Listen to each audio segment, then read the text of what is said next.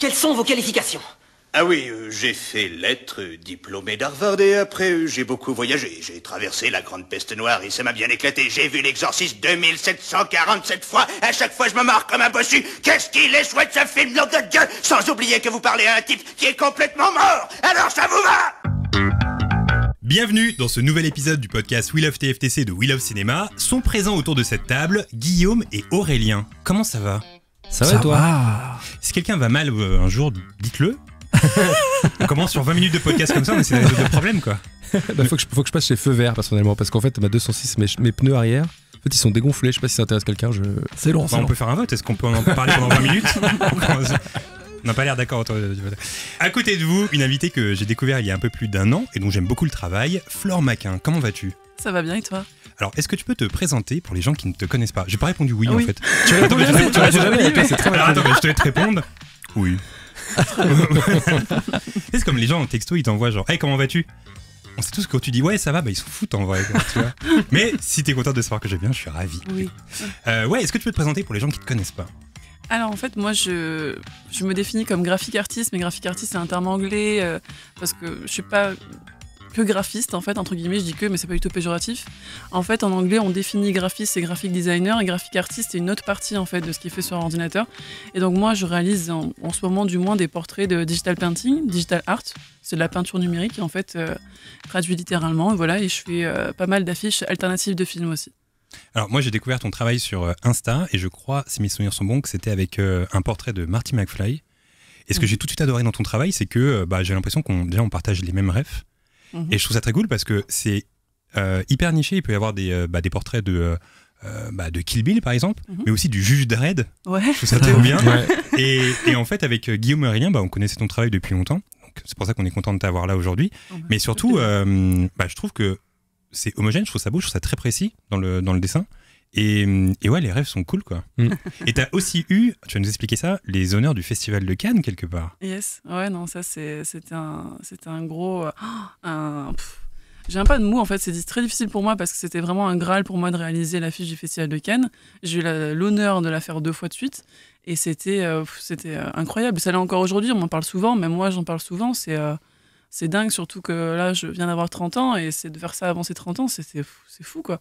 Et je manquais un peu d'expérience, enfin, arrivé vraiment sans connaître les grands événements comme ça et j'ai appris sur le tas et euh, c'est- c'était hyper formateur. Alors, pour... ouais, pardon, Guillaume. non mais ce que j'ai demandé c'est comment ça se passe? Parce que du coup tu reçois un mail genre euh, salut on adore ton travail bah voilà c'est tu peux faire la fiche du festival de Cannes comment Oh, ça un se passe? texto? Non, non. Un je texto. Euh, en fait, j'ai travaillé, je sais pas si vous connaissez l'Institut Lumière à Lyon, c'est un institut de cinéma Ouais. qui est notamment euh, créateur du Festival Lumière et euh, qui est géré par Thierry Frémaux.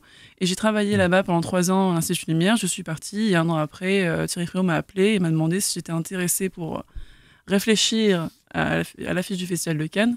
Évidemment, j'ai dit, oh, oh, pff, je pas tellement le temps en ce moment. je suis sur un portrait de Judge Red là donc euh, je passe, très très prise.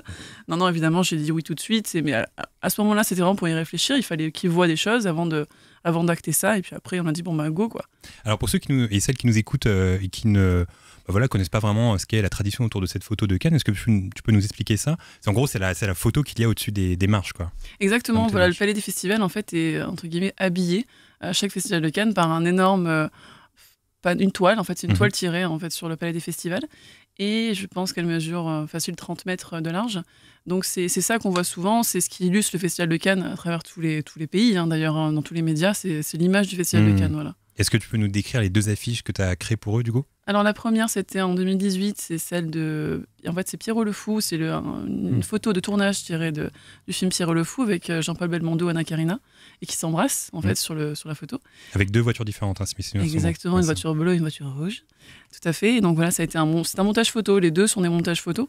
Euh, la deuxième année, c'était un, un montage photo euh, sur Agnès Varda, donc qui surplombait un peu, enfin, on va dire dans l'imaginaire, ça, elle surplombait la, la baie de Cannes. En fait, c'était ça l'idée derrière cette photo, ce montage du moins. Et c'était aussi une photo, une photo de tournage de son, un de ses films. C'était à 7. Et je crois que c'est un de ses premiers films, parce qu'elle était assez- vachement jeune euh, sur, le, sur la photo. Ouais, grimpe sur les épaules d'un assistant pour pouvoir filmer. Oui, et ça. impossible de retrouver le nom de l'assistant. Ah C'était ouais impossible. On a vraiment mais, cherché de partout pour. Ah, euh, personne ne sait s'il est encore vivant ou pas. ah bah ouais, c'était même la photo aussi. On avait du mal à trouver euh, C'est fou. qui était l'auteur de la photo. Ouais. Trop bien. Alors, si on scrolle euh, le compte Insta de Flore, on se rend compte que sa toute première photo postée est un dessin de Beetlejuice. C'est donc le film tout trouvé pour le sujet du jour.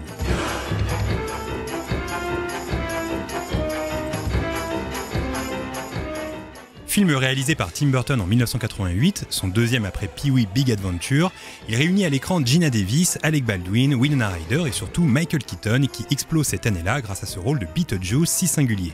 Ce film raconte l'histoire d'un couple de jeunes mariés qui, après avoir péri dans un accident de voiture, doit composer en tant que fantôme avec la nouvelle famille qui s'installe dans leur maison. Beetlejuice a obtenu l'Oscar des meilleurs maquillages en 1989 et est placé à la 88e place des films les plus drôles de l'histoire du cinéma américain, selon l'American Film Institute.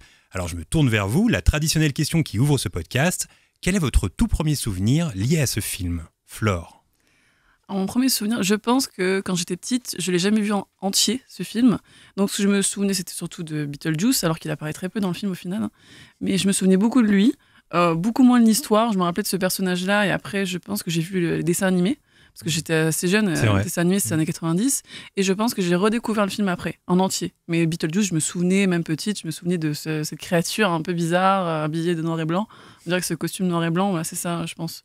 C'est vrai, il y a eu le. On n'y pense pas assez, mais il y a eu les dessins animés Beetlejuice, enfin le dessin animé Beetlejuice après. Et il y a même ouais. eu les- la gamme de jouets Beetlejuice qui était très cool. Et les jouets étaient vraiment. euh, je vous conseille de checker ça sur YouTube. Les jouets étaient vraiment euh, novateurs et créatifs parce que tu appuyais sur des boutons, la tête se retournait avec une langue qui sortait, etc. et il y avait plein de jouets comme ça qui étaient très cool, Beetlejuice. Toi, Guillaume, ton premier souvenir? C'est un peu pareil en fait, parce que j'étais quand même assez jeune et je me souviens surtout du dessin animé et que j'ai redécouvert le film après.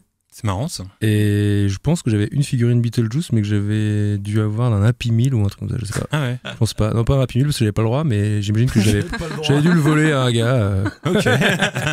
très bien. Avez volé un Happy Meal Bah oui. Horrible. Toi, Aurélien?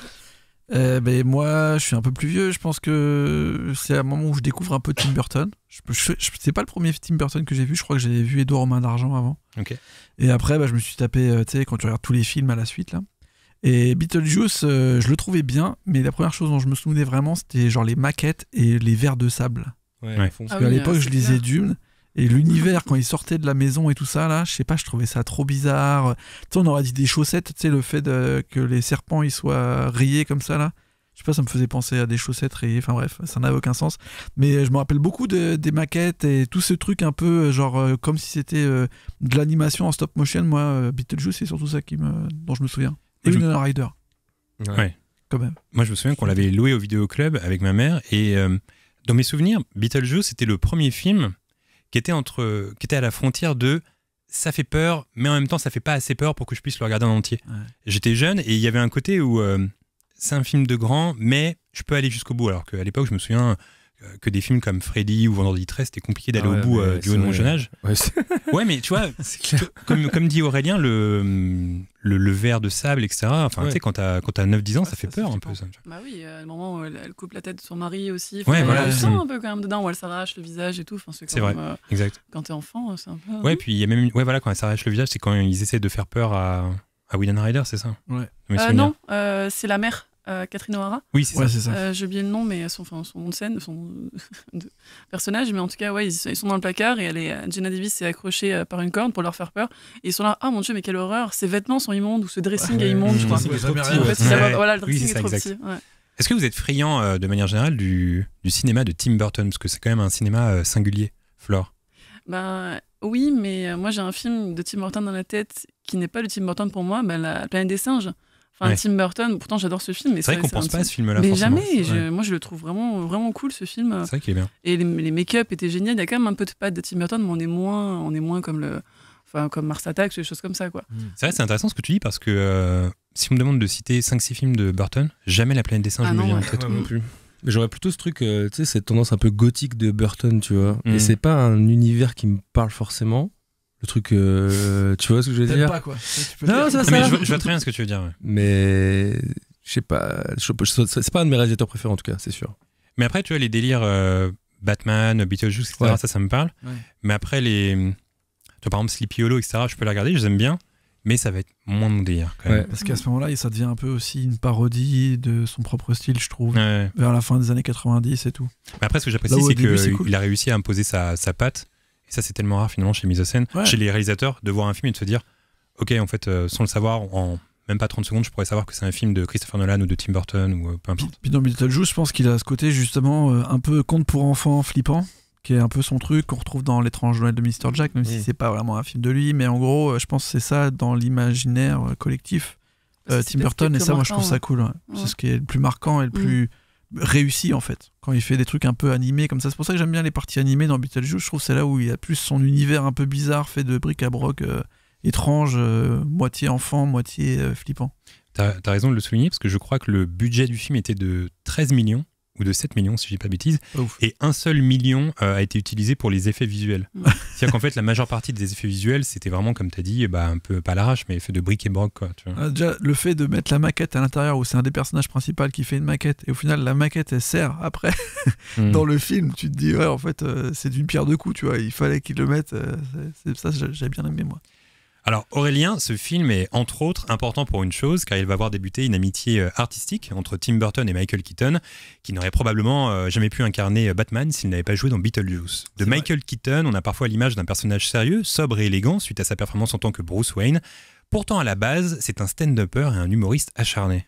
C'est vrai, c'est un, comique euh, et c'est un personnage avec beaucoup de facettes. D'ailleurs il y a ne serait-ce qu'une histoire qui est assez marrante. Vous savez que Michael Keaton c'est pas son vrai nom en fait, qui à la base il s'appelle comment Vous savez? Non, pas du tout. Julien Lepers? Presque, presque. Sais pas. Non à la base il s'appelle Michael Douglas. Ah ouais? Et en fait, vu que Michael Ah. Douglas, ça existait déjà, quand il a commencé à être connu, euh, ils lui ont dit, bon, il va falloir que tu trouves un truc. Donc il a commencé à prendre dans l'annuaire et tout, et il s'est mis à K, parce qu'il aimait bien K. Au début, il disait Keats, mais il faut, ouais, c'est un poète anglais hyper connu, ça fait Mm. un peu, je me le raconte. Il a dit Keaton, ouais, Diane Keaton, j'aime bien Buster Keaton, il a pris ça, mais en fait, euh, c'est un alias, parce qu'il y avait déjà Michael Douglas et un autre qui s'appelait Mike Douglas, un grand euh, présentateur télé, donc euh, c'est comme ça qu'il arrive euh, sur le jeu. Mais à la base, donc c'est un mec qui vient de Pittsburgh et euh, qui, qui est acteur. En fait, ce qui est assez marrant, c'est en, en gros, vous avez vu le film Birdman? Ouais. Oui. Euh, on a l'impression que c'est presque le, le film de sa vie parce que, en gros, euh, vraiment, Michael Keaton a commencé au théâtre en faisant un peu du de la mélange de comédie, euh, humour un peu noir à la Tim Burton d'ailleurs, et, euh, et du dramatique, tu vois. Et il marchait vraiment entre les deux à chaque fois sur, à Pittsburgh. Et la grosse histoire de sa vie, c'est que à Pittsburgh, à cette époque-là, il lance la production de Mr. Rogers Neighborhood, un film euh, dont on avait parlé d'ailleurs. Enfin, à la base, Ouais. c'est donc une émission, c'est un peu genre, euh, je sais pas comment dire, Dorothée euh, chez les Quinry, quoi. Enfin, c'est un- pour enfants. Voilà, c'est un, un- un peu moins bête finalement que Dorothée. ah ouais, ouais, c'est un peu plus, comment dire, pédagogique. Ça Ouais. raconte plein d'histoires, etc. Et à l'intérieur de cette émission, donc, euh, qui est produite à Pittsburgh à cette année-là, en 1975, et qui est diffusée dans toutes les États-Unis, euh, euh, Michael Keaton va avoir un petit euh, segment euh, qui s'appelle. Alors attendez, je- c'est quand même assez légendaire. En fait, il va jouer un clown. Il va jouer un clown dans les Flying Zucchini Brothers. C'est euh, Mhm. cinq euh, frères qui en fait sont des hommes canons. Et donc pendant le, pendant le spectacle de Monsieur Rogers, à un moment, il y a, il y a une phase où pendant, euh, je crois, deux ans, il va être donc un homme canon et ils vont devenir, ils vont faire même des propres spectacles après à Pittsburgh sous ce nom-là. Était Michael loin de Batman à ce moment-là. ah ouais, Quand complètement. t'es ouais. Monsieur Canon. Complètement, et après il deviendra même assistant principal de cette émission, donc c'est vraiment une, une grosse partie de sa vie. D'ailleurs, il- ça va être lui la voix. Il y a eu deux documentaires qui ont été faits après la mort de Monsieur Rogers, le, fameux, et il y en a deux où en fait euh, il témoigne et un autre où il fait carrément toute la voix off parce que c'est vraiment euh, devenu euh, un personnage les plus emblématiques euh, de cette émission. Donc euh, c'est un peu comme ça qu'il a commencé. Et à l'époque, comme tu le disais, il faisait aussi du stand-up, donc il traînait dans les clubs.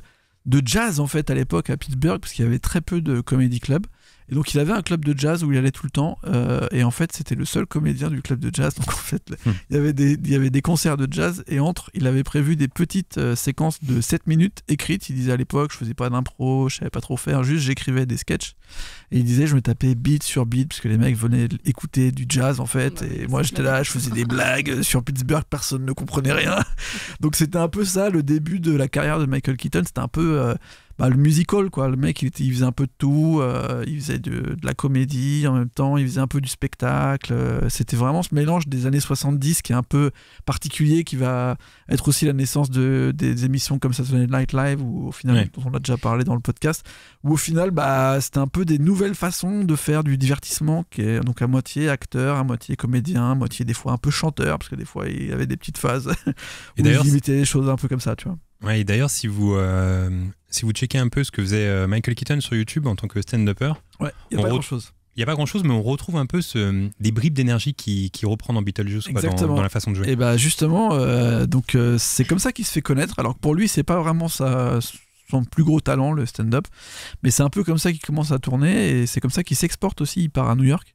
Et la fameuse séquence dont tu parles, elle est assez folle parce que c'est donc euh, un peu un stand-up qui dure 5 minutes, je crois, qui est Mhm. sur YouTube où tu le vois et c'est au Gotham Comedy Club. Mhm. Ça s'invente pas quand même. Ouais, en c'est drôle, 1980, incroyable. le mec il joue au Gotham Comedy Club et il a des petites séquences comme ça. Il se fait un peu remarquer, mais sans plus. Et c'est après quand il va à Los Angeles que là il commence à rentrer un peu dans le roster des, des sitcoms parce que les gens ils voient qu'il peut, il peut jouer un peu euh, tous les types de, de rôles. Et donc il a quelques rôles dans des sitcoms à la fin des années 70.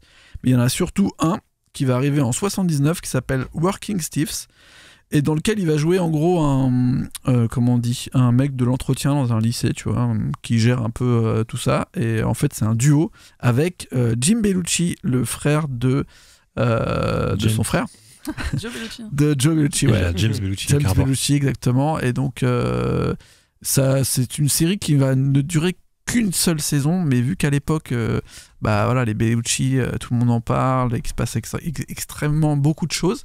Euh, c'est un peu le point de départ pour la carrière de Michael Keaton et donc comme comédien vraiment. C'est à dire que cette série c'est une série où il y a énormément de gags euh, genre visuels. C'est à dire qu'il y a beaucoup de cascades il y a beaucoup de blagues physiques. Michael Keaton dira pendant très souvent que ça a été une saison très courte mais qui lui a appris énormément de choses sur l'humour de situation c'est là où les gens ont cru qu'il s'appelait euh, Michael Keaton à cause de Buster Keaton d'ailleurs Mm. et comme tu dis, c'est des choses qu'on retrouve euh, dans, dans Beetlejuice en fait, et qui vont être un peu son, sa marque de fabrique dans les années 80, quand il va se faire repérer dans le film, dans le cinéma. Et en fait, ce qui est intéressant avec euh, Working Stiff, c'est que donc c'est une série qui a été créée par Bob Brunner, qui est euh, le créateur de Fonzie, le personnage Fonzie. Dans. Happy Days, et donc ça faut le garder parce que Happy Days est très important dans cette chronique parce que tout simplement euh, le premier réalisateur qui va lui donner vraiment une chance dans un film qui s'appelle Night Shift, euh, c'est euh, Ron Howard, qui n'est autre que Richie de Ouais. Happy Days.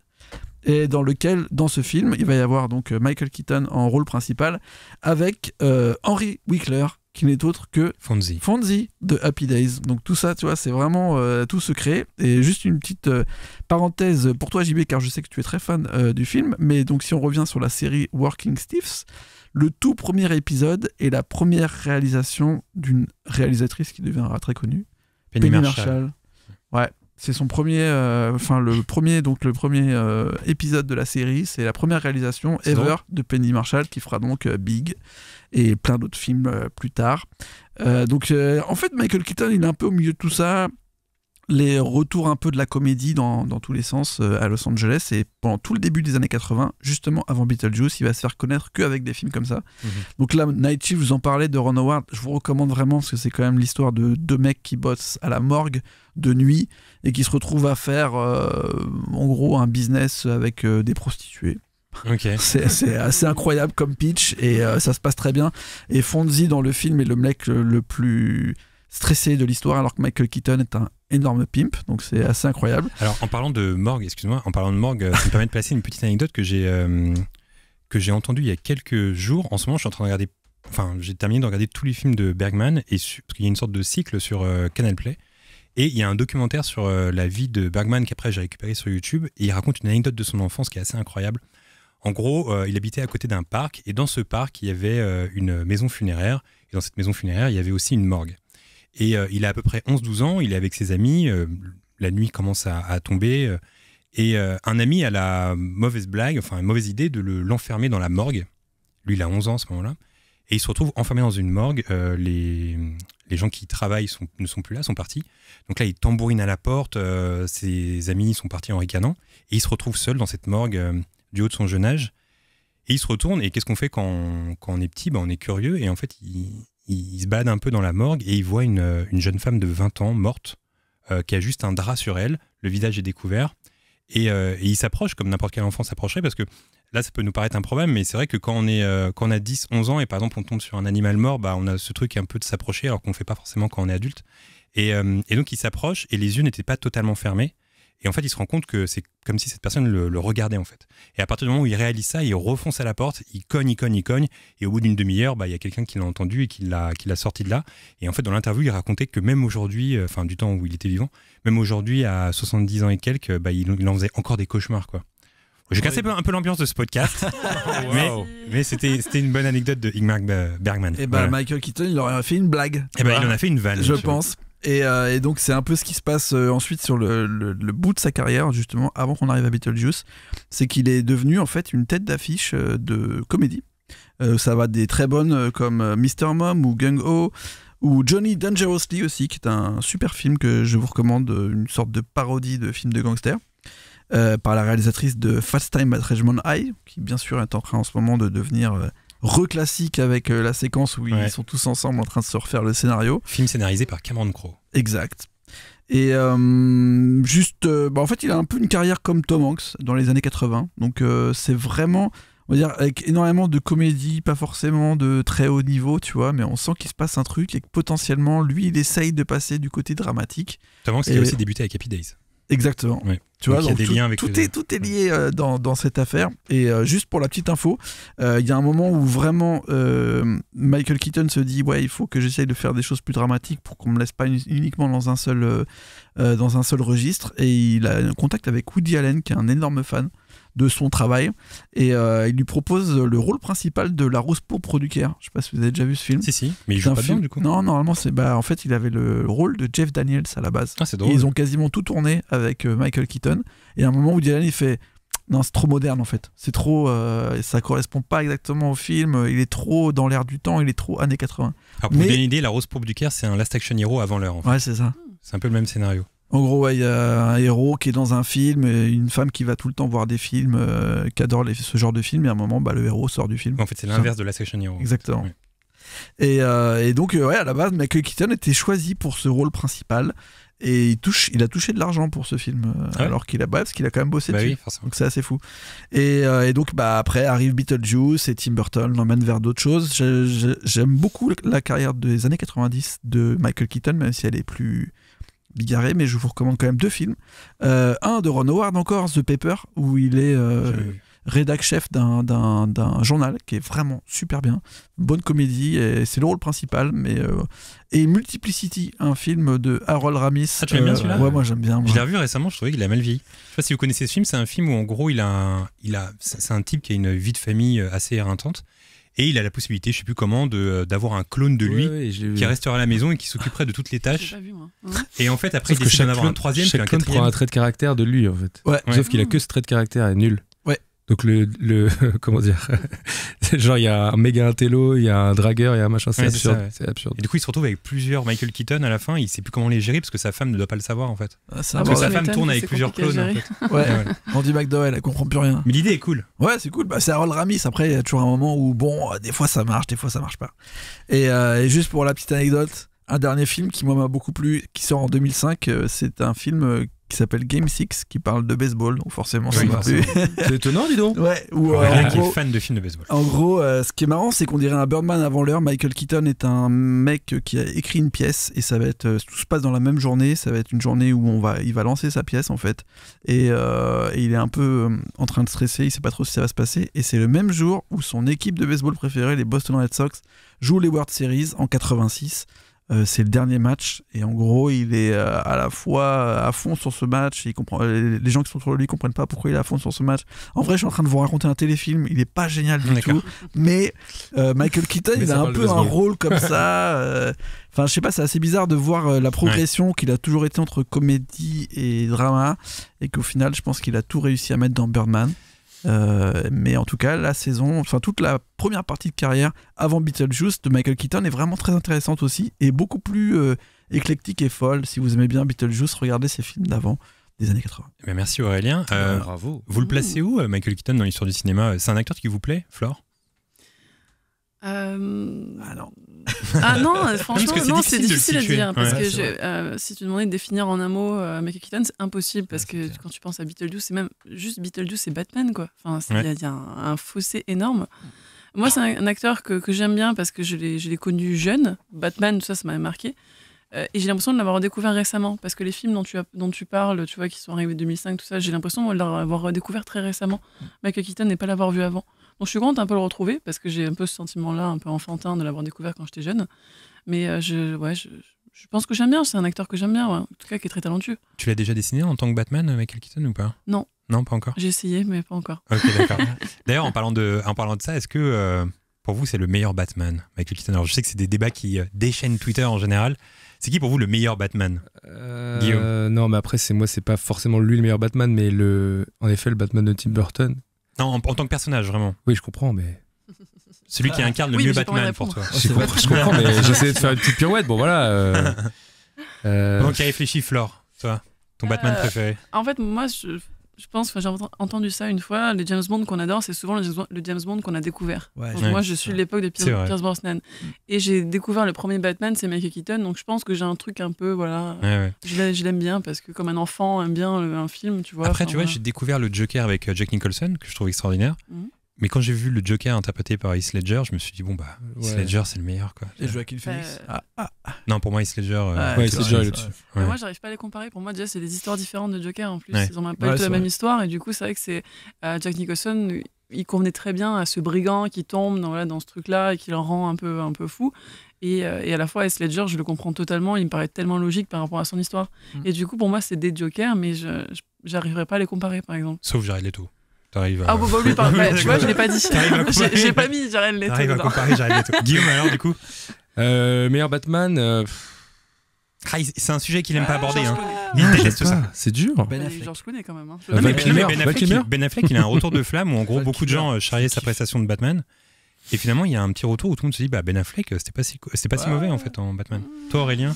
Ouais. Moi, en fait, je suis en train de juste me dire, euh, quand même, Michael Keaton, en fait, Tim Burton, il nous a vraiment vrillé le cerveau. Parce qu'à aucun moment, tu dis Michael Keaton, ça aurait pu être Batman. hein. Il y avait d'ailleurs eu des. Tu sais, il a pas la Ah, il tête, il a d'ailleurs pas la carrure. euh, Batman, ce sera peut-être Pattinson. Si ça se Ah trouve. ouais, Pattinson, ouais. Ça peut être pas mal. Si ça se trouve. Ouais, parce qu'il a une bonne tête de. Ouais.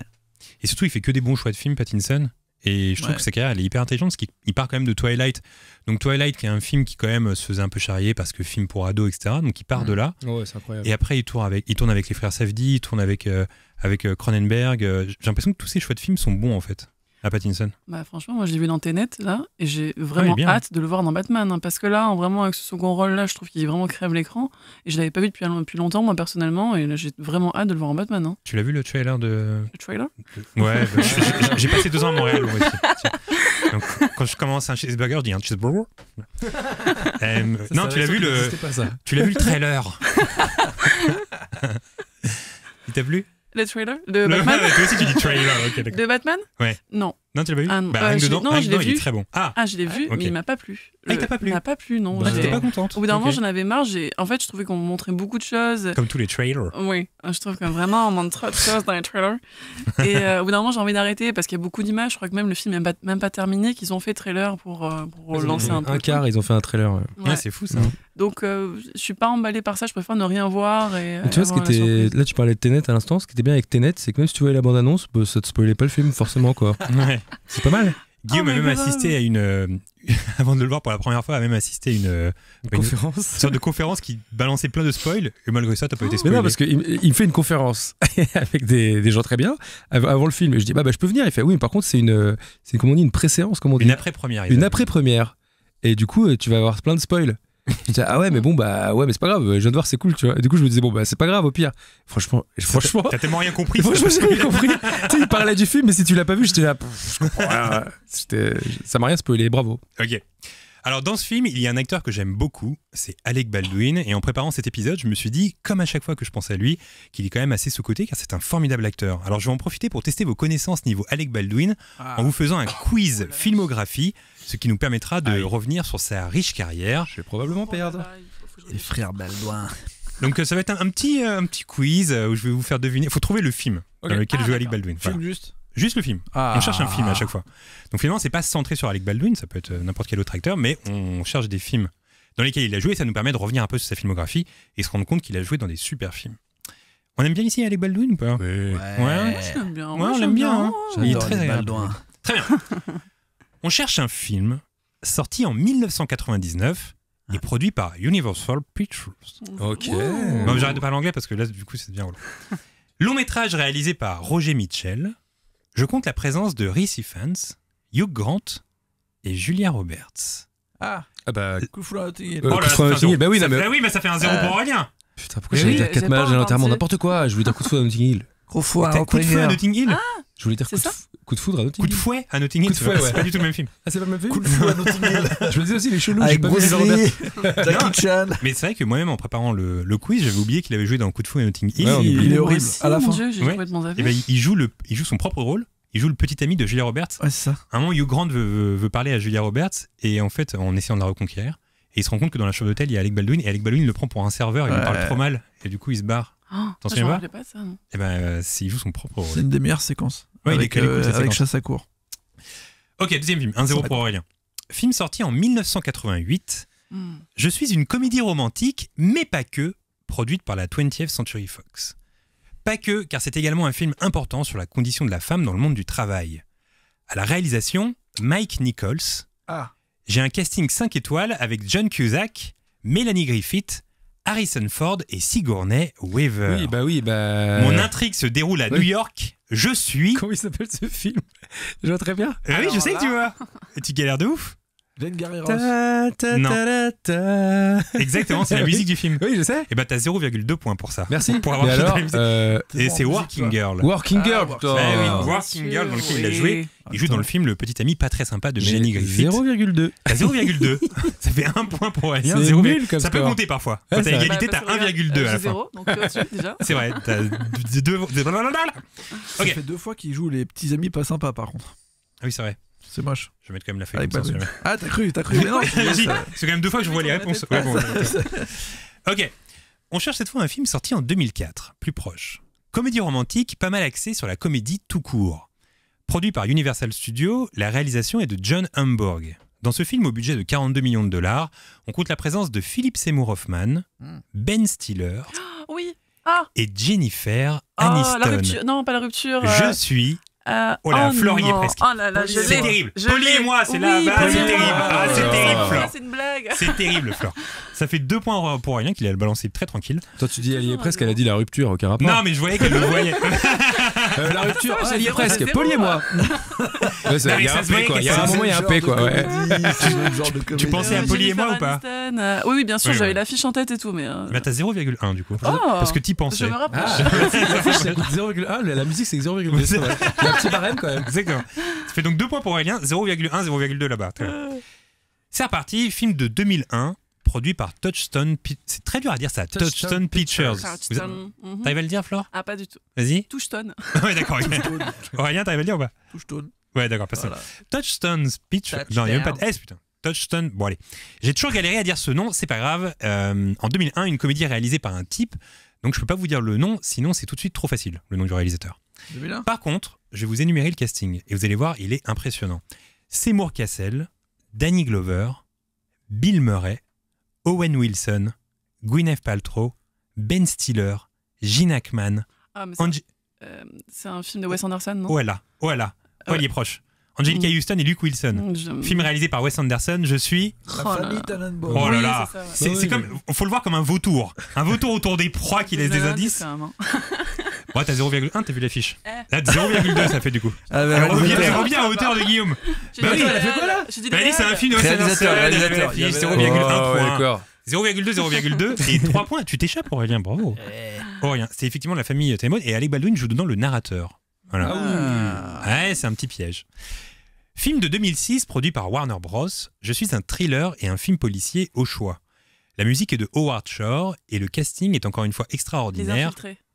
Oh là là, là, c'est beau. Donc, C'était obligé. Ça, Film beau, ça. policier. euh, Ça, c'est beau, les infiltrés. Ah ouais, elle l'a sorti cash là.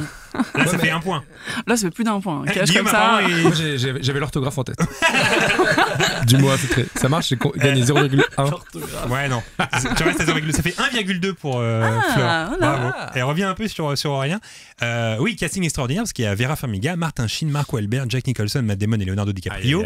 J'adore ce film. Remake Oh. d'un film hongkongais réalisé par Martin Scorsese. Je suis euh, Les Infiltrés. The Et, Departed. exactement. Et dedans, il joue le chef de police, euh, Ouais. un chef de police du Massachusetts. Ah. Super film. On retourne dans les 90s, plus précisément en 1990, avec un thriller slash film de guerre. Musique de Basile Polidorisk, à qui l'on doit entre autres la Ah. formidable bande-son de Robocop. Éconnant. Je suis produit par la Paramount Picture et compte à la photographie le futur réalisateur Yann de Bonte. Grosse équipe. Au niveau des acteurs, c'est pas mal non plus. Sam Neill ou encore Sean Connery. Film réalisé par John McTiernan. Ah, Je suis. John McTiernan, réalisation. Sean Connery, euh, c'est quoi l'année? casting. C'est 1990. La poursuite d'Octobre Rouge. Oh, c'est là Bien vu. Il l'a balancé tranquille, oh là hein là Oh là là, tra- il était pas sûr de lui, mais En il l'a réfléchissant. balancé. C'est l'évidence. À la poursuite de Avec la tête un peu baissée. Ça devient très serré parce qu'il reste 3 films et t'as 1,2. Allez, En plus, 1,2. j'ai jamais vu ce Et film, je trois. vois juste l'affiche. Ah, Ah, bah. Ah, tu vois Ah, t'as envie de te, je te rajoute T'avais des l'affiche 0,2. Ouais, bon. Ok. On passe des années 90 à une époque beaucoup plus récente, puisqu'on est cette fois en 2018, Oh là. dans un film à gros budget, 178 millions de dollars, produit par la Paramount. À l'affiche, Simon Pegg, Henry Cavill, réalisé par Christopher McQuarrie, avec comme star principale Mission Tom Cruise. Impossible 8. Joli. Non. Fallout. bien, ouais. Le, ouais, le combien Ah, Ouais, d'accord. 32, on s'arrête Ouais. là. Ouais, je sais pas, 7, 8. Il y joue le euh, secrétaire de la défense, bravo. six. Ça fait Je 4. sais pas si c'est le 6 ou le Un 8 ou le 4. Ouais, je- je- C'est. Simon Pegg et Henri Cavill. Exactement. Ça fait 4, J'ai fait, wow, 4 pour toi 4 points peut-être. 1,2, on aurait pu 1,2, compter, bon, il se dirige à la victoire. hein. Mais il peut y avoir un kit ou double sur la dernière question. Ah. Il peut y avoir un kit ou double. Tout double. On reste dans les années 2010, cette fois en 2013, avec un film produit par Perdido Productions. Dans ce film, il y a Louis C.K., figurez-vous, à Ah. l'époque où il joue encore dans des films, mais aussi Peter Sarsgaard, Bobby Cannavale ou encore Kate Blanchett. Réalisé par Woody Allen, Je suis, Ah, film de Woody Allen, réalisé en 2010, avec euh, Alec Baldwin dans un des rôles euh, principaux. Il joue la- le mari de Kate Blanchett. ouais, Oh, je mais non, mais le. Ah, ah, ah Attends. Non? Non, bah non, bah tu nous as donné beaucoup d'espoir sur ton... Mais oui, non. c'est- Intervention. C'est un nom à la con. Non, Il y a pas. une couleur, il y a le nom d'une couleur dans le Ouais, titre. c'est ça, c'est Blue, Velvet, non, Blue, quelque chose. C'est Blue. Blue Jasmine. C'est Blue Jasmine, bravo, Ah, ça ouais. fait 5 points. Il est Ouais, fort, il est ouais, très Ouais, chaud. Il est très chaud à ce quiz aujourd'hui. Et euh, alors, dans je le fais film... par association d'idées, je vois les affiches. Bon, alors, je tiens à dire que pour le dixième, j'avais mis mon film préféré d'Alec Baldwin, qui est Glengarry Glen Ross. Mais Ah. comme tu l'as dit tout à l'heure, Ouais, bah, je vais pas le mettre. Mais super film, si vous avez jamais vu Glengarry Glen Ross, c'est extraordinaire. Il y a une scène culte avec, euh, avec Alec Baldwin.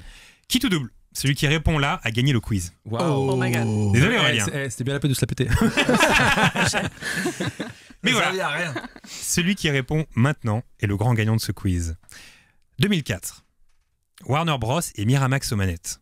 La musique est de Howard Shore, encore une fois, mais aussi Jay Goldsmith. Quelle équipe Figurez-vous que dans ce film, il y a le chanteur Rufus Wainwright, mais également Willem Dafoe et une autre chanteuse, Gwen Stefani.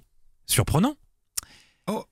Il y a également John C. Reilly, qu'on adore tous, Jude Law. Aviator. Oh, c'est lui qui gagne là-bas, Viator Ah, bravo Le grand gagnant du quiz Tout le monde est Oh, dégoûté autour de la table, mais il a gagné La foule est en délire, un bruit de foule en délire, s'il vous plaît. Allez. J'ai gagné, là Mais t'as gagné Il Tu sais pourquoi Mais non, le tu sais monde était dégoûté autour, hein, mais Tu t'as sais gagné pourquoi Tu sais comment j'ai trouvé Avec Gwen Stefani. Ah ouais Parce que j'avais fait une rubrique, pour ceux qui ont suivi les podcasts, sur les chanteuses qui avaient eu des rôles au cinéma. bah, bah, bah, comme Et le seul rôle de. Gwen Stefani au cinéma, c'était Aviator. Et bah ça sert. Voilà, il y bah, avait également gagné. Kate Beckinsale, Kate Blanchett et Moi, DiCaprio. bien Voilà. Par contre, j'ai bien noté le jus de l'eau. Ah, je dis Jude Law Oui, Bah, Jude. Jude. Jude. Jude. J'ai- tiqué sur le Jude. Ouais, Jude Jude. Ouais, c'est vrai, que- ouais, t'as plus de succès en soirée si on tape- t'appelle Jude que Jude. Jude. Ouais, j'avoue. Non, tu dis Jude Law toi aussi euh, Guillaume Moi, je dis que j'ai gagné le coup sur tout ça. Après, euh, bravo, on peut l'applaudir. Ah ouais, voilà. On peut applaudir Aurélien et aussi Fleur, qu'on a tous marqué des points. Heureusement, parce que sinon, on a honte. pas mal, pas mal. Alors Guillaume, euh, la musique de Beetlejuice est composée par le talentueux euh, Danny Elfman, collaborateur récurrent de Tim Burton. Mais musicalement, il y a un titre qui par-dessus tout est désormais associé à tout jamais au film. C'est Day O de Harry Belafonte. Extrait. Work all night and a drink a rum. Quelle est l'histoire de ce titre culte, Guillaume Eh ben en effet, titre culte pour scène culte 2 minutes 30, euh, entrée dans la légende du cinéma grâce à cette chanson D.O. The Banana Boat Song interprétée par Harry Belafonte et enregistrée en 1956 sur son album Calypso. Titre de l'album qui en a fait une référence de ce style alors qu'à la base, c'est une reprise d'un titre populaire de Mento, jamaïcain sorti en 52. Le Mento est une sorte de blues euh, de la Jamaïque, style euh, de musique créé par les paysans à l'origine du reggae et du ska. On y parle des dures journées de labeur et de la condition des travailleurs, comme dans la première version donc de Deho, intitulée Deda Light, et interprétée par Edric Connor and the Caribbeans. Six and seven and eight and a bunch. Lay the light on Version moins rythmée et presque plus dramatique mais tout aussi belle. Il faut attendre donc la version d'Harry Belafonte et les paroles réécrites pour l'occasion pour que le Banana Boat Song rencontre le succès, puisqu'elle se glisse cinquième au Billboard en 1957 et accessoirement le plus gros succès commercial d'Harry Belafonte. Et évidemment, Beetlejuice n'est pas étranger à ceci. Et là vous allez me dire, mais comment cette chanson s'est-elle retrouvée dans le film? Mais J'allais pas le dire, perso. Allez-y, dites-le. mais comment cette chanson s'est retrouvée mais- dans le film? Eh ben, très bonne question, merci de me la poser. Car sur cette scène du dîner, un tout autre style de musique était prévu. Dans le script d'origine, ce n'était pas du tout une scène de danse. Les convives se retrouvaient attachés à leur chaise par des esprits malveillants. À la base, Tim Burton avait en tête un morceau plutôt doo-wop du groupe les Ink Spots, un groupe de doo-wop des années 30. If I didn't care more than words can say. Beaucoup moins marrant du coup. Ouais, c'est une toute autre ambiance.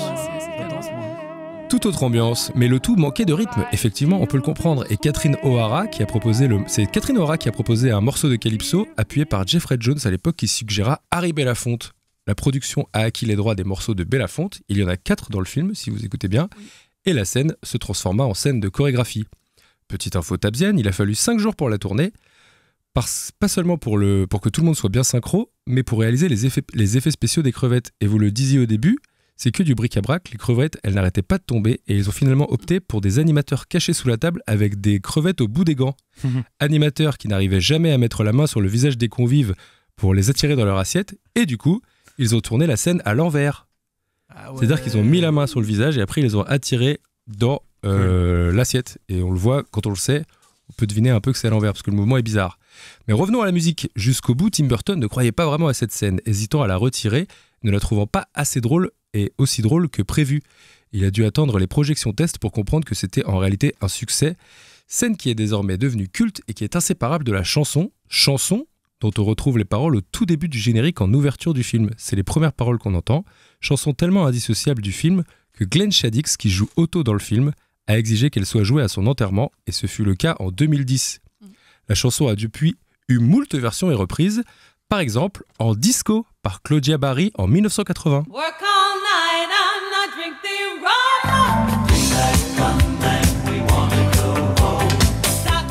Autre ambiance, évidemment, en disco, ça fait vraiment la différence. Ou alors parodié par l'humoriste américain Stan Freiberg en 1957. Écoutez bien, c'est assez drôle, ça commence pareil, mais la suite est différente.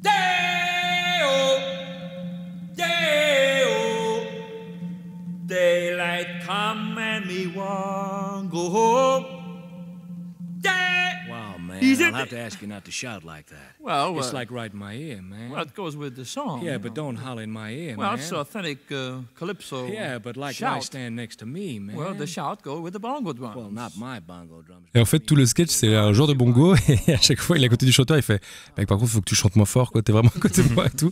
C'est assez cool. En français, on a aussi repris la chanson avec Dario Moreno ou encore Les Compagnons de la chanson en 1957, qui ont fait une version un peu à leur sauce. Le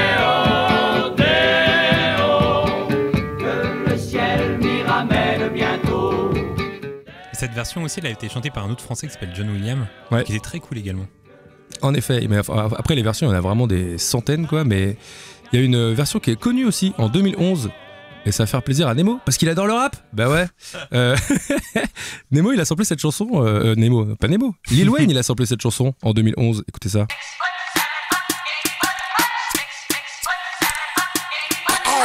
Excuse my charisma, On est vraiment très loin des compagnons de la chanson. en fait, ça saute de style en style. Il y a encore, été, il y a encore Shaggy qui l'a repris, ou Sébastien le crabe de la petite sirène sur son album euh, de reprise. Come, Mr. Tallyman, tally me banana.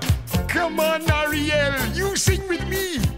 Après, il chante avec Ariel et tout. Il dit Ariel, vas-y, chante avec moi. Mais du coup, c'est Elise Moon qui chante en français ou pas? Parce que c'est pas Elise Moon qui fait le crabe. Ah, c'est peut-être Elise. Moon qui chante en français. En tout cas, ça m'a appris euh, que Sébastien le crabe de la petite sirène avait sorti un album, je le savais pas. Mais euh, bon, je vous ai gardé le meilleur pour la fin, une petite version euh, très énervée du groupe de punk euh, Oi The Business dans les années 80 qui a repris cette chanson aussi.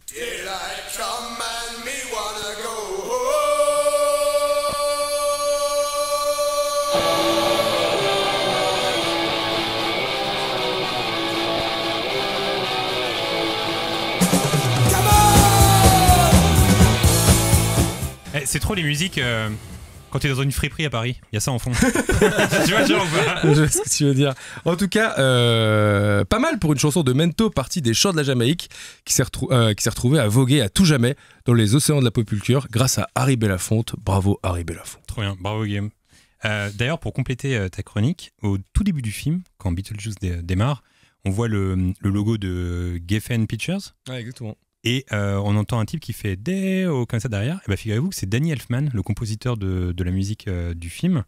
Euh, bah, c'est lui qui s'est amusé à crier ça dans le micro et le film commence avec le- la voix de Danny Elfman. Mais tu vois, c'est fou quand on sait tout ça, c'est que euh, c'est que tous ces titres de Calypso, ils ont été rajoutés dans cette idée. Après la scène du dé où ils se sont dit, attends, on devrait mettre du Calypso, on va acheter les droits d'Harry Belafonte, etc. Ouais. Mais je trouve que quand on a, on a revu le film ce matin, tu sais, sans ça, tu sais, ça perd une identité de ouf, euh, Beetlejuice, quoi. Ce délire de. Ça, en fait, ça rajoute euh, de l'absurde à tout le reste, quoi. Ouais. De mettre du Calypso sur des scènes bizarres comme ça, c'est trop bien. Mais c'est vrai que ça aurait moins fonctionné. Je, alors, je, je- enfin, je me demande à quoi ressemblait la scène si ça avait été euh, Inkspot. Je pense que c'était pas du tout. euh, je pense que absurde. c'était moins comique, en fait, à la base. Bah ouais, parce À que mon toutes avis. les scènes, il y a de la comédie partout, quoi, même dans cette scène-là où il danse et tout. Enfin, la J'imagine scène- pas quelqu'un, quelque chose de mou, quoi. Ouais, c'est ça. Et la scène de fin où euh, Winona Ryder, elle s'envole, etc. Si vous devez retenir une scène de Beetlejuice, c'est celle-là ou il y en a une autre si on devait en en trouvant une autre. C'est Parce que moi, en vrai, c'est cette scène qui me Ouais, reste, en cette fait. scène, c'est sûr. Mais De ce matin, ce matin, en le revoyant, il y a une scène que je trouve vraiment cool et drôle, c'est quand euh, Winona Ryder elle s'adresse à Beetlejuice et qu'il est encore petit et qu'il lui dit ouais faut que tu dises mon nom trois fois s'il te plaît etc machin tu vois. Et il dit mais moi je peux pas le dire mon nom. Du coup il essaie de lui faire comprendre. Et donc il fait il fait retourne-toi regarde derrière toi. Il y a un cafard dans une chaise. Et il fait ça. et après elle dit ouais et pour lui faire deviner le jus il y a juste un minute mètre qui se verse dans un je pense que c'est un sponsoring quoi un minute mètre qui se verse dans un verre qui vole et tout c'est bien absurde je trouvais ça pas mal Elle met 3 heures d'ailleurs à comprendre que c'est juste, j'ai jamais compris. Ouais, là, genre ça. oui, Beetle alors. orange Beetle. euh, ça veut rien dire, tu dis ça dure des plombs, bah ça va, Beetlejuice, tout le monde sait. Moi, je me souviens quand j'étais petit, il y avait une scène qui me fascinait. C'était euh, euh, celle où euh, Gina Davis et Alec Baldwin, en tout cas leur personnage, dessinent à la craie une poignée de porte. Ah ouais. Je trouvais ça fou parce que je me disais, attends, est-ce que c'est possible de faire ça en vrai? J'avais genre 7-8 ans, quoi. tu vois. Ouais. Et je trouvais ça fascinant. Mais, mais, il y a- mais en fait, je me rends compte en revoyant Beetlejuice qu'il y a pas mal de scènes cultes. On pourrait en citer genre 10, tu vois. Ah bah ouais, 9, comme 10. sur dans, dans l'au-delà, là, qui sont en file d'attente, qui a un, Ouais, numéro de 9 génial. millions, je sais pas quoi, c'est quand même Exactement. exceptionnel. Chacun a une mort un peu particulière, et puis la nana de l'accueil aussi. euh, c'est je trouve ça assez stylé, moi. Ouais. Bah, Figure-toi, Flore, que tu me lances très bien sur la question d'après. Mais écoute, C'est une c'était volontaire, Bah, c'était fait bravo, exprès. bravo, bravo. Hein Euh, Beetlejuice, ça traite quand même d'un sujet euh, qui est euh, rarement traité au cinéma, c'est la vie après la mort. Est-ce qu'il y a une vie après la mort ou pas. Est-ce que vous y croyez à ça? Genre dans une question un peu comme ça, euh, un peu psychique. Est-ce que tu crois à la vie après la mort, Guillaume? Euh non. Non?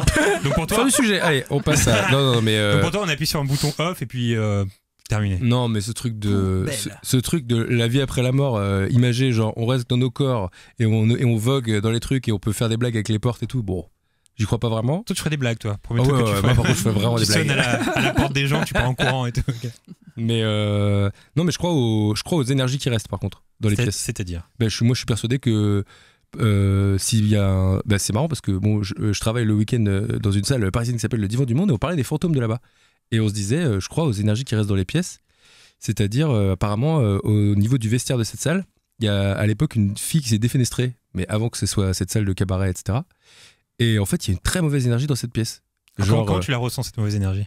Bah moi je la ressens pas, euh, j'en parlais pas forcément, mais c'est les serveuses qui m'ont dit non mais c'est horrible quand on va là-bas. La dernière fois il y a une fille qui disait moi j'ai fermé toute seule et euh, j'étais en bas et j'ai entendu une, une chaise bouger comme si quelqu'un la tirait, sauf que j'étais toute seule dans l'endroit. Je dis mais t'es monté voir, elle fait non pas du tout, je, je suis parti. Pas du tout. Je suis enfui Mais en tu vois, courant. je pense qu'il y a des où tu sais quand on te dit euh, est-ce que tu est-ce que t'achèterais euh, l'appartement de quelqu'un qui s'est pendu, tu vois, si tu le sais.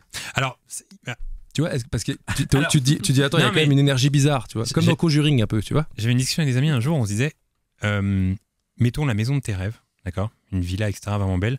On te la donne, mais on t'apprend également que dans cette maison, il y a eu euh, des terribles meurtres dans la chambre, euh, dans le salon, etc. Tout est clean désormais.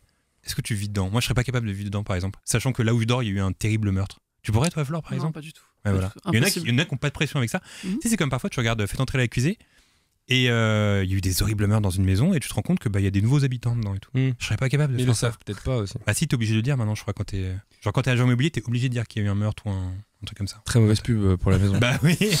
Alors elle est géniale, elle est pas chère, mais par contre. Ah, il y a eu un, il y a eu un Faut pendu, dire il y a eu un pendu, mais elle a explosé plein sud. Donc c'est pas négligeable. Il est mort dans de très bonnes conditions, euh, très bon feng shui. J'avais vu sur la mer, euh, c'était tranquille. Euh, donc tu crois pas à la vie après la mort, mais tu crois aux énergies. Ouais, ouais, mais qu'est-ce que t'appelles la vie après la mort? C'est ça aussi Non, mais en fait, euh, bah, personne n'a la réponse, mais euh, il y en a beaucoup qui pensent que. euh, il y a- Enfin, il y a plein de trucs, il y a des gens qui pensent à la ré- réincarnation, ce genre de trucs, etc. Moi, je pense que c'est juste comme avant de naître, j'imagine. Euh, dans les années 70, c'est passé plein de trucs, mais j'étais pas là. Et dans les années 2100, il se passera plein de trucs, je serai pas là, tu vois. Enfin, je sais pas, je vois les choses de manière très. euh, Ouais, tu vas mourir et puis c'est tout. Bah, c'est terrible, tu vois. Mangé par des vers. Bah, c'est terrible. Mais pour vrai, en fait, quand j'étais petit, je me disais, je pensais que la mort plus tard, ce serait euh, la fin du, enfin la fin du psychisme. Mais en gros, ton corps ne peut plus bouger, mais t'as conscience que t'es encore là, tu vois. Par exemple, on te met dans une tombe, tes membres ne peuvent plus bouger parce que t'es mort, mais tu peux pas crier, et donc tu restes là à vie éternellement. Tu vois, c'est terrible ce truc. Quand j'étais petit, je pensais à ça. Et tu veux même pas faire des blagues parce que t'es tout seul. Bah non. Bah ouais. Mais Horrible. je t'en avais parlé un jour. En fait, euh, il y avait un, un docu un jour que j'avais vu sur Paris Première où en gros, euh, c'est des gens qui rouvraient des tombes et on se rendait compte que dans les tombes, il y avait des griffures dans le cercueil. C'est-à-dire que c'est possible d'être euh, diagnostiqué mort, mais en fait, euh, un ou deux jours après, on se réveille parce que, enfin, il y a un terme, ça, je suis vraiment nul en médecine. Mais c'est possible de, de- de penser qu'on est mort et en fait, on n'est pas mort. euh, et un jour après ou deux jours après, on se réveille parce que ton corps, il est en état de De mort choc. cérébrale, un truc comme ça, ouais, de choc, je sais pas. Et en fait, t'es pas mort, tu vois. Et donc, à l'époque, il y avait un truc au Moyen-Âge où il y avait des sonnettes Voilà. tu savais ça ou pas Non. En fait, il y avait des sonnettes, euh, et en fait, il y avait une sonnette dans, ta, dans ton cercueil, et tu pouvais l'activer. si Mais tu c'est dans quel film d'horreur ça où il y a des cloches à côté des tombes? Eh ben, c'est c'est issu d'une vraie, euh, d'un vrai truc qui s'est passé au Moyen-Âge. Où... Ah oui, parce que ça Ah, c'est dans un ça. film, ça Mais j'ai vu ça récemment. Oui, Ah, ils sont dans, oui. un, dans un cimetière et t'entends des cloches. C'est C'est ah, pas ils dans- sont pas morts. Je sais pas quoi. Non, c'est pas dans dans, quoi, ça c'est pas dans la, ah, c'est pas dans la Dame Blanche, un truc comme ça? Je sais plus, franchement, Mais Mais c'est vrai que je l'ai vu dans un Mais film oui, d'horreur. je me rappelle aussi, ça me parle ce que tu dis. mais... Enfin, tout ça pour Il y a dire. vraiment eu un cas. il y a Tu regarde, tu te balades dans un et cimetière, ok Ça se fait la cloche. Sérieux T'es tout seul dans un cimetière, ok Bah, j'y vais pas. a T'entends une cloche dans un tombeau. Bah jamais j'y vais en fait, tant pis. Eh, Excuse-moi mec, mais c'est trop flippant. j'irais le soir avec une cloche. C'est flippant, tu vois. Mais non, c'est pour ça que si je meurs plus tard, dans mon testament, je veux qu'il y ait euh, un paquet de chips, une Game Boy, une petite lumière, un téléphone portable. Comme ça, je peux attendre tranquille quand même me chercher, tu vois. Enfin, toi, non, je peux pas compter sur toi parce qu'apparemment, quand sonne la Ouais, cloche, c'est ça fini. fait trop peur. Ouais, c'est vrai que ça fait peur, Guillaume, t'as raison. Alors, est-ce que tu crois à la vie après la mort, toi, Flore? Non, non, je pense, je crois- non, parce que pour moi, c'est tout est, euh, c'est une une réaction un peu au niveau du cerveau, ça. Enfin, le- c'est un peu une réaction au cerveau. Donc, au bout d'un- moment où le cerveau est plus alimenté, il n'y a plus de vie dans le corps. Pour moi, le cerveau après fonctionne plus. Donc, pour moi, c'est un peu quand on, comme quand on s'endort. On sent pas que ça arrive, on s'endort, et puis c'est quand on se réveille qu'on se dit ah j'ai dormi. Mais euh, sinon, euh, Donc, du coup, tu ne crois pas aux fantômes? Hmm, Ah. tu me mets dans le noir dans une maison fermée, euh, au milieu de nulle part. euh, je te dirais Tu sais que c'est drôle parce que par exemple, mon grand-père, j'ai une maison en Normandie qui fait un peu peur. tu vois. Au milieu de, des champs, il y a personne autour et tout. Et mon grand-père, il pouvait dormir tranquille dedans. Ils s'en foutaient, quoi. Alors que moi, je suis pas trop capable, malgré euh, mes 37 ans, je suis pas trop capable de dormir dedans, quoi, tu vois. Donc, euh, toi, t'as un peu peur quand même des potentiels fantômes. Ah bah oui, moi tu me mets devant Par- Paranormal Activity, j'ai les mains sur le visage, je me cache, Ah oui. je flippe à mort, mais j'adore le film comme ça, j'adore le truc de fantôme, mais oui, je- en fait, si j'y pense pas aux fantômes, j'aurais pas peur. Mais si je commence à me dire, ah tiens, la maison elle est vide, euh, tiens, s'il y avait un, enfin, un fantôme qui traîne ou quoi, là je pourrais commencer à flipper, ouais. Moi, je trouve bizarrement, j'ai plus peur de, de l'être humain que des fantômes, tu vois. Me dire oui. qu'il y a un ouf qui arrive dans la maison. ou Ah quoi, oui. C'est genre, ça c'est euh, plus, c'est plus plausible quand même. Stray Dogs, là. Tu sais, les mecs qui viennent et tout, ils veulent Ouais. tuer tout le monde. là. Ah Non, c'est l'ambiance. Toi, tu crois alors ou pas À la vie après la mort Bah, en fait, les deux se fantômes. rejoignent, la vie entre la mort et les fantômes. La vie après la mort et les fantômes. Euh. Non. Non Si, je pense que tu continues à vivre, mais dans la tête des autres. Mais toi, après, c'est fini. hein. C'est beau ce que tu viens de dire. Et surtout, ça voudrait dire quoi? Ça veut dire qu'il y a des fantômes de chiens? Des fantômes de chats Et tu rappelles ce que je disais dans Video Store des Ça n'a fantômes pas de sens. Il y a Fantômes fantômes de moustiques. Ça veut dire qu'ils ont un tente sur Terre, ça veut dire qu'il y a encore le fantôme de Napoléon là qui se balade Qu'est-ce qu'on raconte en fait Ah, surtout, ça, serait, ça serait surpeuplé de fous, t'imagines Eh Tous les gens qui sont, morts, qui sont morts, ils sont encore là. Ah oui, c'est ils terrible. sont où? Ils sont. Je pensais, je pensais déjà à ça. Je, je- je me dis depuis le début de l'histoire humaine. J'ai j'ai- j'ai regardé sur Google, il y a eu des milliards et des milliards de, de morts. Et ils sont où tous? Les corps. Tu vois Ah, ils sont dans la Terre.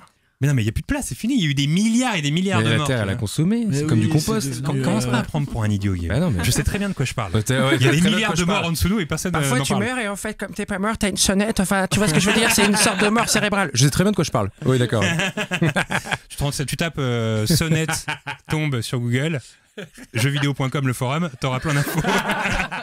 t'auras plein d'infos est-ce qu'il y a croustillantes. déjà un mec qui a sonné? Moi, je voudrais bien avoir un mec qui était là dans sa tombe et qui a dit Ouais, j'ai utilisé la sonnette, on est venu me chercher. Très bonne anecdote en soirée mort. par contre après. hein. Mais alors, attends, non, mais il y a un vrai truc, c'est que tous les gens qui sont, qui ont été, qui sont, comment dire, ils sont morts et après ils sont revenus, mais dans les hôpitaux, genre euh, mort clinique, dans le coma et ils reviennent, ils ont tous dit la même chose, le truc de la lumière, le truc de, Oui, c'est vrai. Ils tous ils disent la même chose. Ils ont vu leur corps. euh, Ils se sont vus ça. dans la pièce. Mhm. Très bizarre. Oui, c'est vrai que c'est bizarre. toi. Effectivement. il y C'était mon, c'était mon analyse. Et pourtant, il n'y avait pas de sonnette dans la chambre de l'hôpital. Ouais, c'est vrai, t'as raison. Mais il y a de quoi écrire un livre avec ça, hein, avec ton- ta petite analyse. Ou de faire des On va pas aller loin, toi et moi. Deux pages. très bizarre. C'est le titre du livre qui est aussi le livre en vrai. Euh, c'est bientôt la fin de ce podcast, déjà. Mais avant de se quitter, quelques infos croustillantes sur Beetlejuice. Ah. Figurez-vous que euh, le premier choix pour incarner le personnage de Beetlejuice, c'était le chanteur Sammy Davis Jr., dont Tim Burton est fan. Et à la place de Catherine O'Hara, que l'on retrouve dans Maman j'ai raté l'avion, était envisagée Angelica Houston. Et quand on repense à son rôle dans la famille Adams, il est aisé de l'imaginer dans Beetlejuice. Euh, le film s'appelle Beetlejuice, mais au final, on le voit seulement 17 minutes sur 92 à l'écran. Même phénomène pour Jurassic Park, car dans le fond, on voit pas tant que ça les dinosaures dans le film. Et il apparaît, je crois, à Beetlejuice au bout de 25 minutes seulement. Ouais. Ouais, il Donc le- je crois qu'ils ont placé une scène euh, où il est de dos, où il lit la rubrique nécrologique. Ouais, Ah. Et en fait, apparemment, c'est une scène rajoutée. C'est-à-dire que ils ont- quand ils ont montré le film en test, tout le monde, beaucoup de gens ont dit, mais on le voit pas assez, quoi. Mm. Et on le voit en fait en, de dos, ah, euh, qui est mort et Ah tout. mais c'est euh. vrai, j'avais oublié Mm. ça. Et On le, Exact. voit donner, on le voit donner à manger à une mouche. Il sort sa main comme ça, il dit Viens, ouais. Ouais. C'est Il vrai. lui donne pas à manger, il la mange. Il la Ouais, il la mange, ouais, enfin il la tire. quoi, Enfin, il ça, lui donne une barre chocolatée pour la pâter, puis Ouais, il- c'est ça, c'est ça. Au secours, au secours. Oui, c'est vrai. Mais je pense que le visage, on le voit euh, 25 minutes. Ouais, très ah très peu. Euh, lors des audiences tests, justement, toi tu me lances bien à chaque fois. Bah, tu vois. lors des audiences tests, avant la sortie du film, les scènes qui ont fait le plus rire la salle étaient celles se déroulant dans la salle d'attente.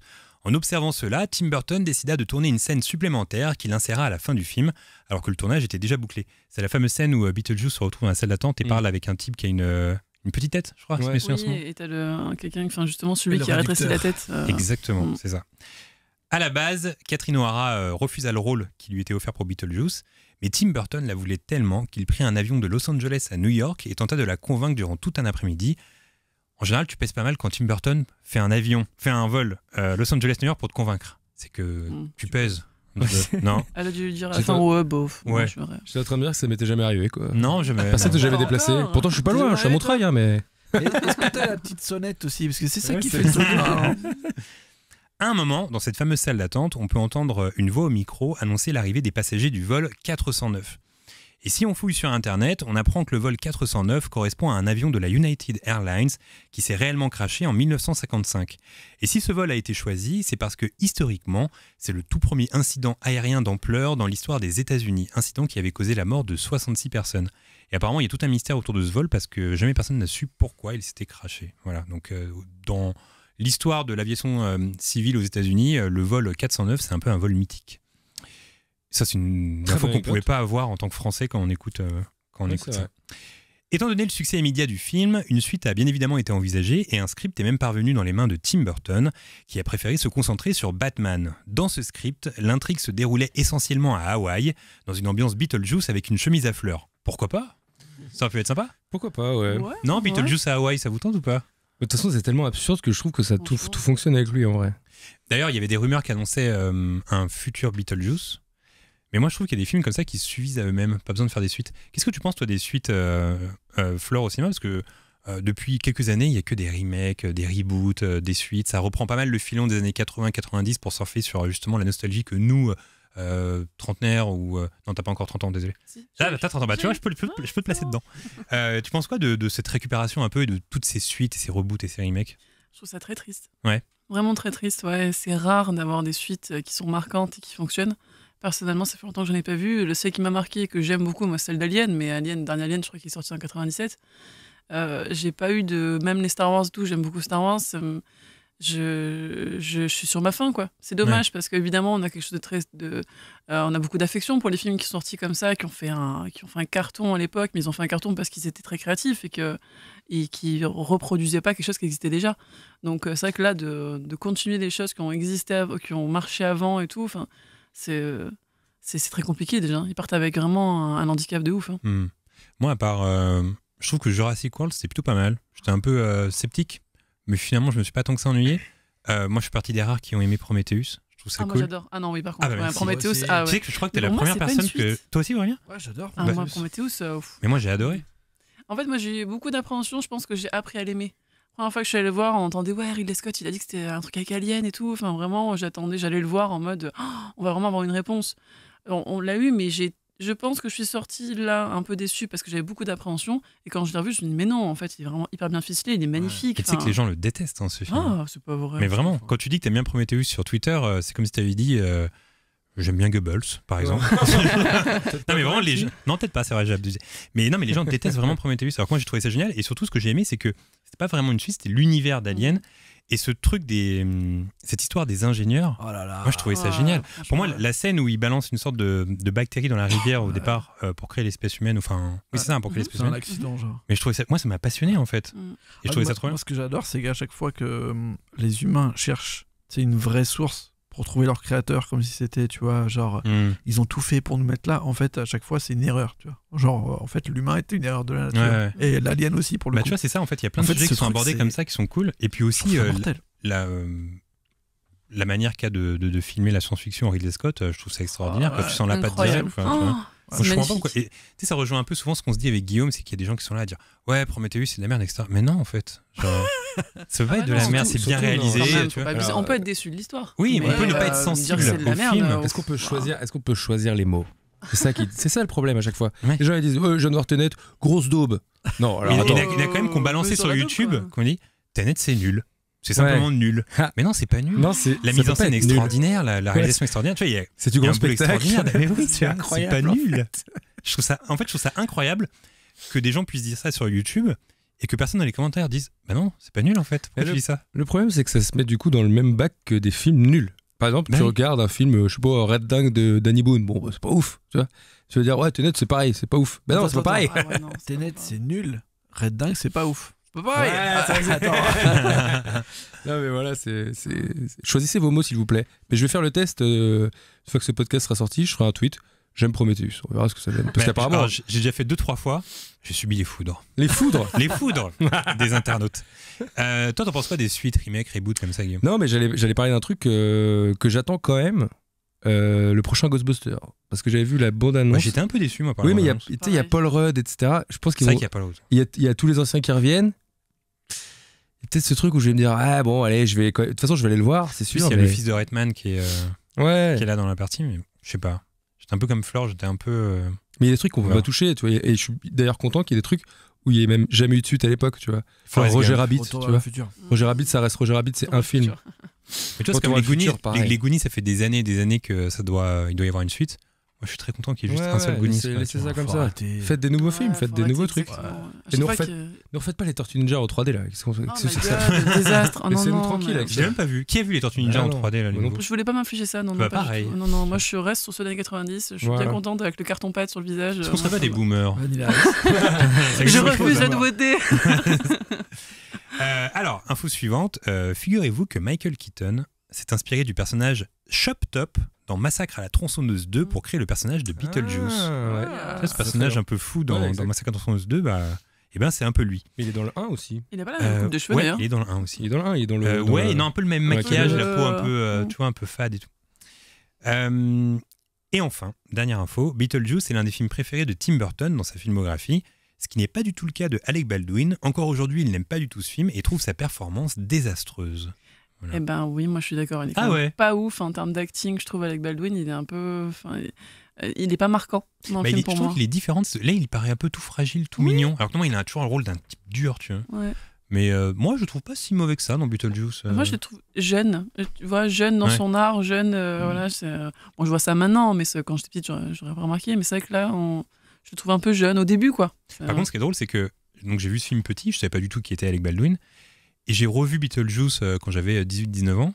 Et en revoyant le film, je me suis dit, ah mais c'est Alec Baldwin en fait, Oui. lui. Parce qu'il ressemble tellement pas au Alec Baldwin de maintenant. Il a des Ah, c'est lunettes, il est un peu fragile et tout. Et en fait, j'étais garé de me dire, ah mais oui, mais c'est Alec Baldwin, c'est Une incroyable. petite maquette. c'est ça. gentil. Tiens, d'ailleurs, en parlant de petites maquettes, moi, c'est un truc qui me fascinait dans le film. Parce que dans Beetlejuice, il y a Alec Baldwin qui fait une petite maquette d'une ville, qui est pour lui la ville idéale.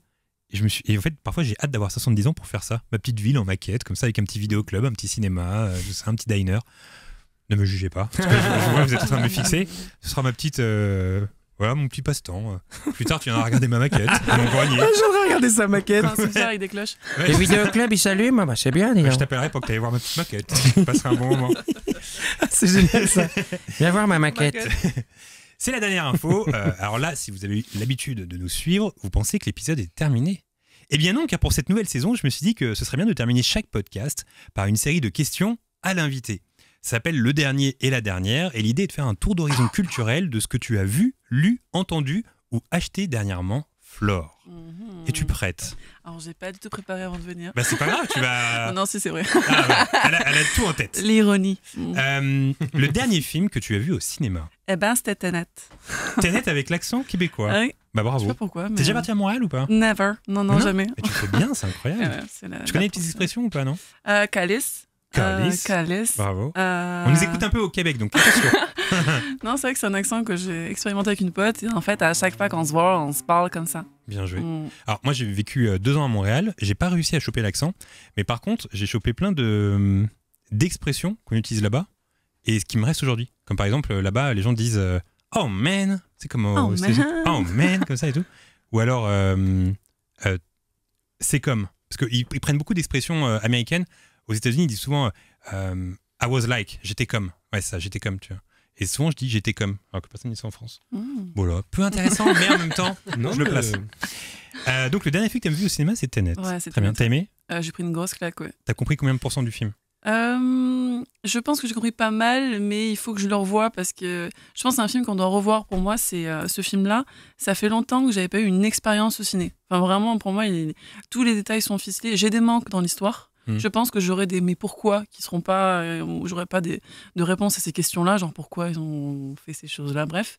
Mais euh, il y a le- les détails dans la musique, les musiques qui sont à l'endroit, à l'envers. le- oh, Il y a un travail exceptionnel dans le détail, dans tout. En Et, d'autres termes, tu n'as pas trouvé ça nul. Bah écoute, Bah nul, c'est pas le mot que j'aurais Ouais, utilisé. ouais, non, c'est pas le mot qu'on utilise pour Tenet. J'aurais pu faire un équivalent avec Danny Boone, oui, effectivement. Mais bon. Le dernier film que tu as vu via une plateforme? Eh ben, c'était The Game de, avec Michael Douglas. Alors j'ai quel- jamais vu. Sur Netflix Je Amazon? Netflix, ouais. Sur Netflix, ok. Et, Ah, tu l'as euh, jamais vu? euh, Je l'ai cool, jamais hein. vu. Et je me suis dit, tiens, je vais me le mettre un soir. Là, je crois que c'était la semaine dernière. Et, euh, et j'ai passé un bon moment. Franchement, c'était euh, c'était assez stylé. Alors, c'est vraiment 90. le, un des films typiques, tel le sixième sens à ne pas spoiler, The Game. Oui. Mais c'est. Non, je peux pas rien dire. Je peux, je peux rien dire. Mais au, au- mais au niveau de, du suspense, je trouve ça incroyable ce film. Mm. Ouais, c'est ouf. Film de David Fincher avec Michael Douglas. Tout à fait. Euh, la dernière série que tu as regardée. Eh ben, c'était The Boys sur, euh, sur Prime. Tout le monde pas- me parle de The Boys. C'est J'ai vraiment. J'ai compris The Voice. Alors, The Voice Kids, franchement, mais oufissime. quoi. Vraiment. euh, Le petit The Kylian a bien chanté. The Boys, euh, moi j'aime bien cette, cette- cette- ce contre-coup des super-héros, enfin l'envers du décor un peu de super-héros, euh, parce qu'on voit beaucoup les super-héros sont gentils, nous défendent et tout. Mm. Mmh, il se passe des choses quand même, donc je trouve ça vachement intéressant, moi j'ai bien aimé. Quelqu'un a vu The Boys euh, autour de cette table? Première saison, ouais. Ouais, c'est bien. J'ai pas encore regardé la saison 2. Ouais, c'est bien, ouais. C'est cool. Tout, le tout me conseille ton est bien fou et il y a un côté un peu cinéma. Ouais, il est bien sanglant. et tout, ouais. Tu t'y attends pas, mais t'as des trucs bien, bien sanglants, quoi. J'aime bien, moi. D'accord. La Mm. dernière chanson que tu as écoutée. Eh ben, c'est la bande-son de Tenet.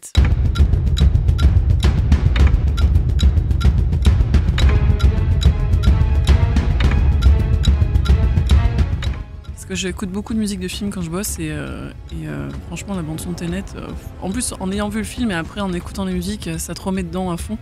Et le pire c'est que ça m'arrive en bossant, en écoutant la musique, je me dis ah mais attends mais ça c'était tel moment, mais c'est vrai qu'il s'est passé ça, mais il y avait ça aussi. Enfin, du coup pendant trois jours encore après avoir vu le film, j'aurais pensé encore et en écoutant les musiques évidemment, ça relance. Ça me va, c'est parfait. Tout ce Bah que tu fais, écoute, ouais. bah, moi, je Le te dernier donne, livre hein. que tu as lu. Alors, c'est un livre avec des images, ça s'appelle Jouissance Club de Ok. June Plat. Donc, euh, euh, pour ceux qui ne connaissent pas, de- ça explique un peu euh, avec des images aussi. euh, comment dire, avec des mots. euh, bah, la sexualité, en gros. Voilà. Et c'est c'est assez cool, c'est assez intéressant. Et euh, des images, des coloriages, si vous voulez, pour tout le monde. Et alors, Donc un livre de coloriage. On peut voir ça comme ça. la dernière BD que tu as lue Alors là, je vais être, ça va être un peu euh, nul, mais bon, ça fait au moins 15 ans que j'ai pas lu de BD. Parce que je suis pas BD du tout, mais j'ai des souvenirs de l'agent 212 à l'époque. Euh, Mon père avait toute une collection. L'agent 212, en fait, c'est un, un policier qui fait que des gaffes. Et je disais ça, mais quand j'étais avant d'être ado, quoi, donc c'était à plus de 15 ans, je pense. Ok. Tu connais Aurélien? Parce qu'Aurélien est un spécialiste de BD. Non. Ah merde. C'est lancé là-dessus. C'est un En fait, ça n'existe pas. Si, ça existe sûrement, mais euh, j'ai des lacunes aussi dans ma culture BD. Le dernier objet culturel que tu as acheté. Alors pour les prochains podcasts, ça peut être, je sais pas, un t-shirt d'un groupe, euh, une figurine, un DVD, un Blu-ray. Le dernier objet culturel que tu as acheté. Alors, euh, je l'ai pas acheté, on me l'a offert. Ah. Hum, Quelqu'un me connaît très bien et je suis une grosse fan de The Mask et on m'a offert le vrai masque, Ah, la, trop bien. la réplique Oh, parfaite du masque bien. de The Mask. Puis je l'ai déjà eu en main. Il, il fait pas de chip. Ah, mais non qu'il est un peu lourd et tout. Ah mais oui, mais vraiment, euh, il est lourd. Moi, j'ai l'impression que c'est le vrai masque du film, quoi. Ça me donne envie de T'as l'acheter. Bah essayé de le mettre ou pas? Bien sûr que Bah oui, en plus, il y a un petit scratch derrière pour vraiment le mettre devant le visage. Bon, c'est un peu lourd, c'est un peu mal, mais. Toujours un peu la blague de bouger un peu le visage pour que ton pote y croit. Mais en fait, Ah bah bien sûr, j'ai fait Bah les oui. mains sur les mains sur les oreilles. Et Forcément. un peu, mais bon, ça, ça a pas marché. Forcément. Et enfin, dernière question, euh, pour terminer, le dernier ou la dernière artiste que tu as scrollé sur Insta? Bah, j'ai vu que vous avez fait un, post- un podcast avec elle, c'est euh, Pénélope Bagieux, que j'ai followé très récemment là, et je trouvais, je trouvais ça vraiment très cool son parcours, tout ça, et euh, qui est illustratrice de BD. Et voilà, j'avais envie de suivre un peu sa petite vie sur Instagram. Eh bien, merci. Mais de rien. Euh, ce podcast est cette fois malheureusement terminé. Euh, Flore, c'était un plaisir de t'avoir avec nous aujourd'hui. Est-ce que tu peux nous en dire plus sur ton actu? Oh là là, euh, mon actu. Ben, euh, alors je sais pas si vous avez entendu parler, mais il y a un- il y, a un virus en ce moment qui, euh, qui passe. euh, Voilà. Mhm. Et du coup, bah oui, je sais, c'est assez, assez fou. Et, et comme moi je bosse dans le cinéma, il y a beaucoup de choses que je- sur lesquelles je travaille, mais qui ne peuvent pas encore sortir. Donc je ne peux pas encore dévoiler le- euh, l'événement, tout ça. Mais bon, je, je travaille sur des événements et des ressorties de films, mais qui, qui sont pour l'instant retardés, quoi. Et euh, pour alimenter euh, le compte euh, Insta, est-ce que tu travailles déjà sur des dessins euh, en lien avec des films Ça, tu peux nous le dire un petit peu Ouais, ou- ouais, parce que j'en ai une, je pense que j'en ai une dizaine qui sont Ah, cool. commencées et qui sont pas terminées, mais des dizaines que j'ai commencé à peut-être 5 ans, quoi, 4 ans. Le Kill Bill que j'ai posté récemment, c'est un Kill Bill que j'ai fait, que j'ai commencé il y a bien 3-4 ans, je pense. Donc, bon, il y a quoi? Il y a bah, Le Pingouin de Tim Burton, il y a quoi? Y a... Cool. J'ai fini récemment Un jour sans fin, que j'avais commencé trop mais il y a très longtemps aussi. Euh. Tu fais les films de Danny Boone ou pas du tout Ah, écoute, j'en ai deux euh, que j'ai pas terminé. Non, non, je rigole évidemment. Euh, j'ai quoi J'ai Jurassic Park, j'en ai plein, mais que je commence, mais dont j'ai du mal à finir parce que je suis pas inspirée encore. Très bien. En tout cas, je vous conseille d'aller checker l'Insta de Flore Oui. Maquin. Il suffit de taper Flore Maquin Eh oui. sur Insta. Mhm. Et euh, bah, les photos, les dessins sont trop cool. Oh, Voilà. bah merci beaucoup. Pour le sujet du prochain épisode, on va se balader sur l'outil euh, que vous pouvez retrouver sur le site de We Love Cinéma. Et on va trouver un film qui, encore une fois, aura de grandes chances de vous régaler. Ciao tout le monde. Je tiens aussi également à remercier Vincent et Ninon qui ont euh, participé à la réalisation de, ce podcast. Et on vous dit à très bientôt. Ciao ciao. Ciao Salut. Salut